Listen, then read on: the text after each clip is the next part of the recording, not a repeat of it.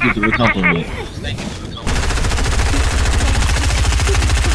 I fuck your mom. I, I literally have that bitch on her knees sucking my dick. Everybody No, you don't.